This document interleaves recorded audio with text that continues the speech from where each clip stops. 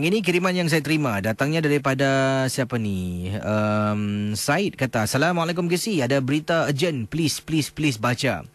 Uh, pada hujung minggu yang lalu, saya telah pun pergi memancing di salah sebuah pantai di Singapura. Dekat kawasan tepi pantai itu hanya saya, teman saya dan ada pasangan uh, yang memancing lah. Saya dengan teman saya dua orang, kami berdua lelaki.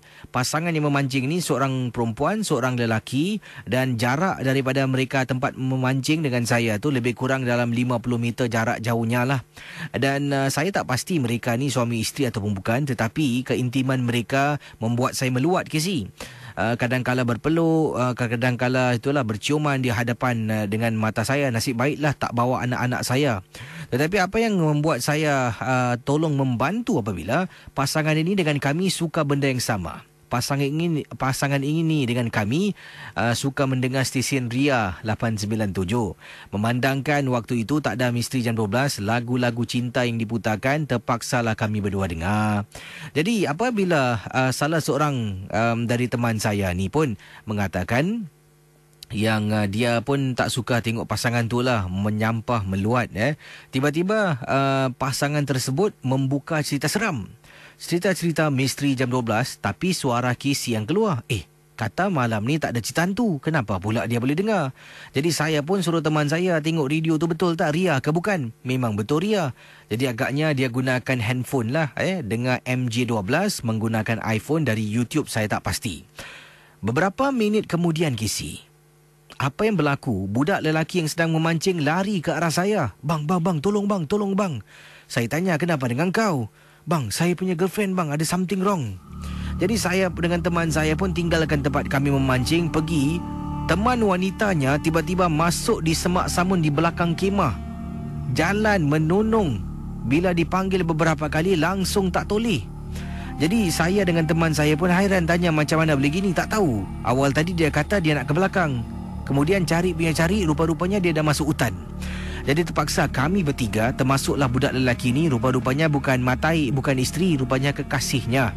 Kami tarik Kisi bila dia berjalan tu Kisi seolah-olah macam seekor gajah. Tiga orang lelaki tak mampu menandingi kekuatan seorang wanita yang hanya berjalan tanpa menggunakan sebarang kekuatan. Dah ini dah kes kena rasuk dengan sampuk ni. Jadi kami ikut dia dari belakang. Sampai dekat satu pohon ni dia berdiri. Kemudian dia dongak ke atas. Bila dia dongak ke atas terus berhenti tak gerak-gerak. Kami cuba panggil, cuba cakap sesuatu tak layan. Teman saya menelpon pak ciknya suruh supaya datang dan membantu budak perempuan dan lelaki ini. Setelah lebih kurang sejam kami duduk di sana menjaga tentang keselamatan budak inilah takut kisi dia lari ke bunuh diri dah satu hal lagi. Jadi saya dengan kekasihnya Duduk dekat kawasan tu Dah lah nyamuk Tak boleh tahan gatal kisi Nak tolong orang punya pasal Jadi teman saya ni keluar Pergi panggil pak ciknya Yang baru sampai Tempat letak kereta Pak ciknya datang Ditunjukkan ke sana Dan pak ciknya terus membaca ayat kursi. Bila baca ayat kursi Budak ni terus pingsan. Pingsan kisi. Jadi kekasihnya Cuba angkat Tarik dia perlahan-lahan Bawa ke tepi laut Kemudian masuk ke dalam kimah pak cik saudara saya, teman saya mengatakan supaya segera simpan barang-barang dan terus hantar budak ni pulang ke rumah. Kemudian mamat ni dengan selamba tanya pak cik saya uh, tanya pak cik teman saya boleh tak hantar kekasihnya pulang sebab dia datang sini naik teksi. Jadi itulah pengalamannya kisah yang tak dapat dilupakan. Saya nak nasihatkan kalaulah bawa anak dara orang Tolonglah jangan sampai ke tempat-tempat macam tu. Terima kasih dan selamat tengah malam GC.